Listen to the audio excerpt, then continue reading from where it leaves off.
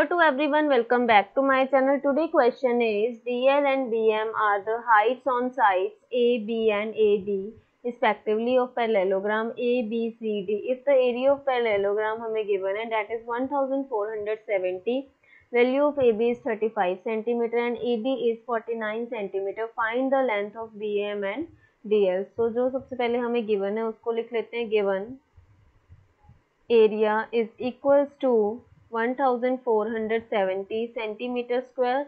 Next, AB is equals to 35 centimeter and AD is equals to 49 centimeter. AB and AD given है AB के लिए height क्या है DL and AD MB. So area of parallelogram is equals to base into height.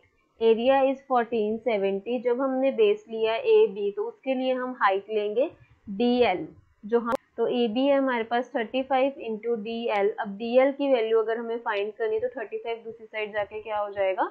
Divide में। तो यहाँ पे five seven ज़ा थर्टी फाइव फाइव टू ज़ा टेन फोर फाइव नाइन ज़ा फोर्टी फाइव फाइव फोर ज़ा ट्वेंटी देन सेवन फोर ज़ा twenty eight seven two ज़ा fourteen so D L is equals to forty two centimetre ऐसे ही अगर हमने एम बी फाइंड करना है या B M which is is equals to area upon इसके लिए बेस क्या है? A D which is is equals to one thousand four hundred seventy upon A D is forty nine so cut करेंगे seven seven ज़ा forty nine seven two ज़ा fourteen seven one ज़ा seven zero seven three ज़ा twenty one which is is equals to thirty centimetre thank you